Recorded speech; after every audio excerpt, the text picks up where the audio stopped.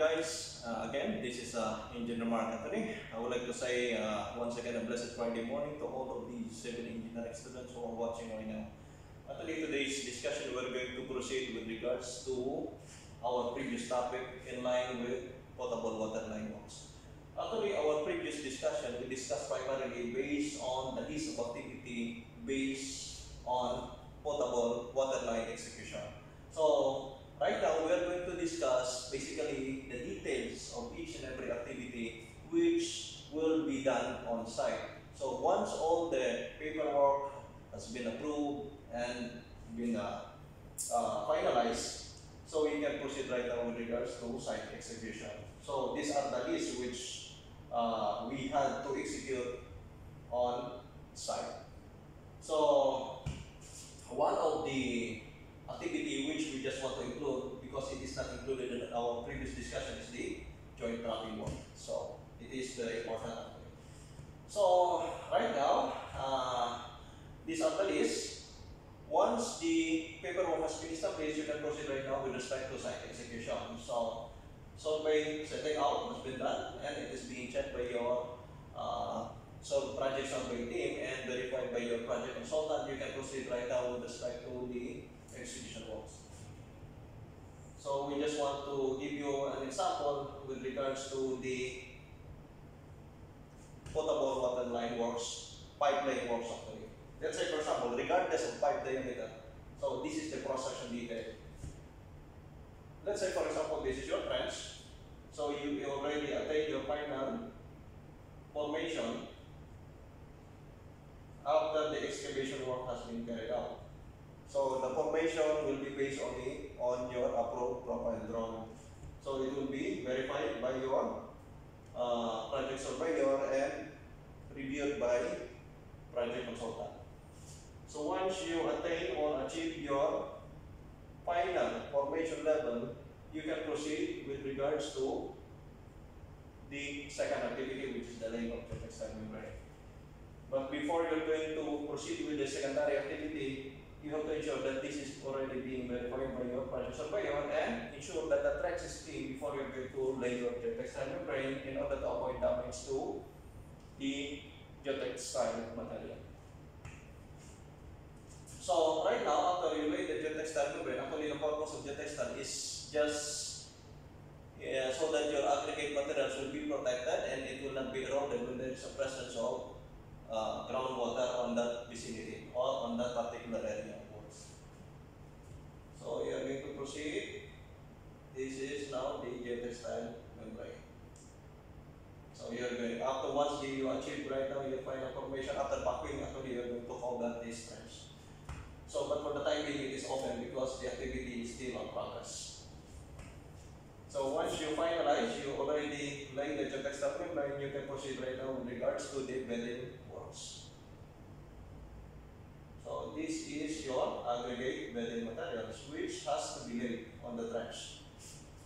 Normally the thickness for this will range between 150 mm to 200 mm. It depends on design requirements.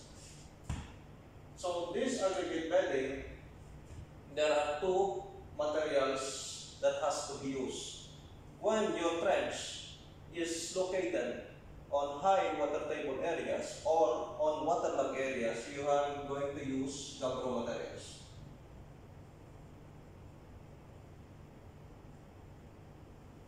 Gabbro aggregates. But if your trench will not be subjected for high water table there, or there is no presence of groundwater, so you can use limestone aggregates.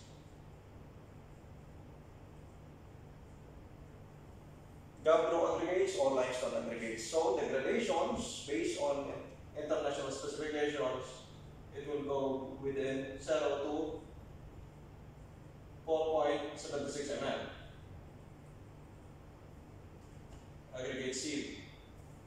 So this is the requirements, or let's say for example 0 to 5 mm. And this is now your. Once the top level of your building material has already been verified by your project survey team, you can proceed right now with regards to pipeline works. So this is now the laying of ductile iron pipes. But anyway, it depends on types of materials. So normally the pipes that has to be used is ductile iron. Now this is now your pipe. Top survey, all the alignments, all the top level of pipe has to be verified. Once it is already established, you can proceed right now with regards to the pressure testing activity. So you're going to subject right now the pipe based on specification standards, the it will be pressurized in order to ensure that there is no leak in the system. When there is a leak in the system, once this area was already backfilled, it is a labor intensive job. So it is prone to settlement later on if this area, there is a presence of leak in the potable water line uh, pipes. So once the pressure testing found satisfactory, you are going to pressurize your pipes If the result is satisfactory within 24 hours, so you can proceed right now with regards to the joint wrapping works. So normally the pressure that has to be conducted is 1.25 times the working pressure, which will be subjected for 24 hours. Normally, the pressure will fluctuate. It depends on the site condition and also temperature, site temperature. Because if you could see in the graph, it is fluctuating. If the pressure is high or rather the temperature is high, of course, the pressure, there is a ratio and proportion. So, pressure is directly proportional to temperature. So normally, pressure is high when the temperature is high. Pressure is low, there is a pressure drop, pressure drop when the, pressure, the temperature is low, especially when it comes to cold season. So once you already completed and uh, pressure testing activity found to be satisfactory, you can proceed right now with respect to the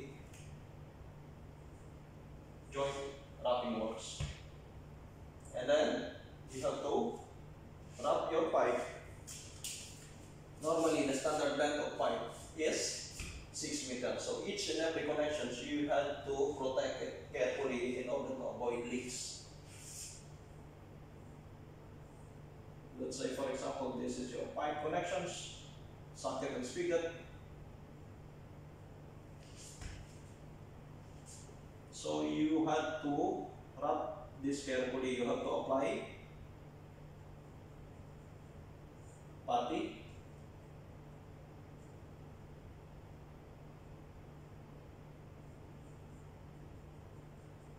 And you have to wrap it with wrapping materials. It depends on types of approval what types of material being approved by your project and it will be used here for the joint purpose. So once you've already completed with regards to the number six activity, you can proceed right now with regards to the flushing and swabbing. So we have to ensure that there is no presence of any unsuitable materials inside the pipes before we are going to proceed for pipe disinfection. Otherwise, the pipe disinfection will not uh, will not get passed when there is a presence of any undesirable materials inside the pipes. So flushing and swabbing has to be carried out. You're going to flush and clean the pipe before you're going to proceed for pipe disinfection. So right now, after the flushing has been done, you're going to flush out all these any debris or anything which might be present inside the pipe. So you can proceed right now for pipe disinfection. So you are going to close the pipe, disinfect the pipes, using chlorine or any other uh, disinfection agent. And after that, you are going to flush once again. Discharge the pipe, remove all the uh, chemical inside the pipe, clean it again, and then at the same time, that's the time that you can collect right now the water sample. So you have to collect the water sample and send to approved third-party laboratory for uh, further analysis. So normally when you're going to send sample to the laboratory, you're going to determine the pH content I'm sorry, the pH value of water. And then at the same time, the TDS, or known as the total uh, dissolved solid, and also any presence of undesirable bacteria. Let's say, for example, E. coli, etc. So normally, based on specification standards, the pH value which we are going to take is the pH value will range between 6.5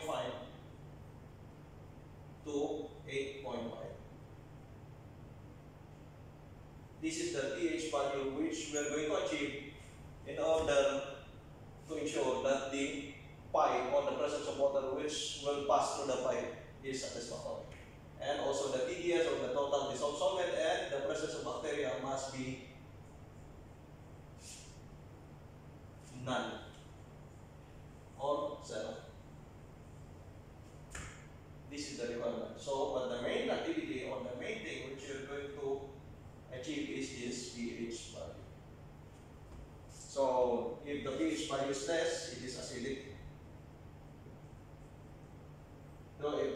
value is high, it is alkaline. So, which is not which is not favorable when it comes to daily consumption. So once you already completed the pipe disinfection and the result on laboratory analysis found to be satisfactory, you can proceed right now with regards to pipe surround works.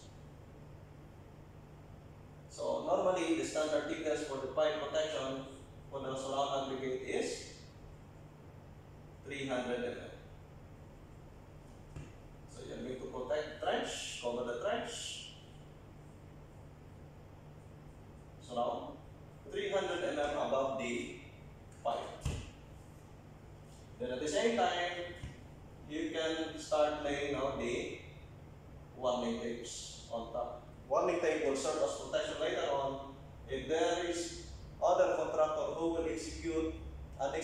works so they will see that there is a presence of any underground utilities let's say for example presence of line, uh, water line within this area. So it will give them the warning that they should not have to proceed the excavation because there is a presence of pressurized, uh, pressurized pipeline underneath.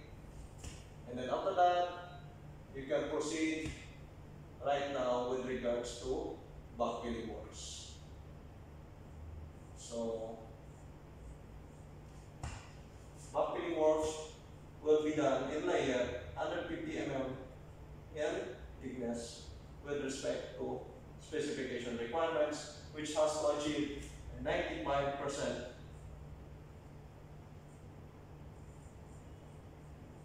maximum dry density compaction.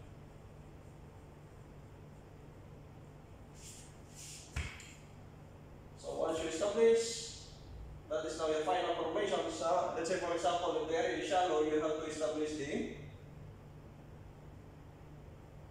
concrete protection slab. Let's say for example, concrete protection slab when the area is shallow.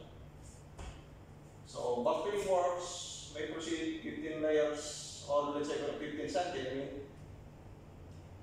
in layers. It must be tested by nuclear or sand cone method in order to determine the compaction of 95%. And you can proceed for the concrete protection slab if required. Or if not, you can complete this by means of conventional backfilling which is 15 centimeter layers until you attain the final uh, layer.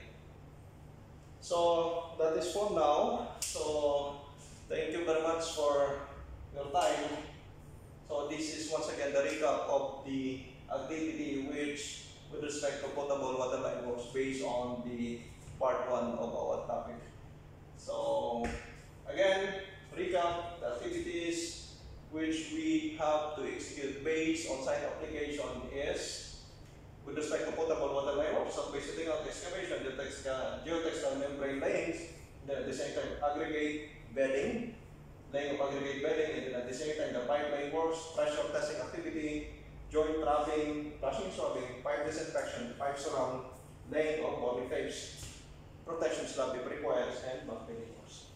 So that is for now. Once again, this is Engineer Mark Anthony. I would like to say a blessed Friday morning once again to all of the civil engineering students. Have a nice day. See you next time. Bye bye.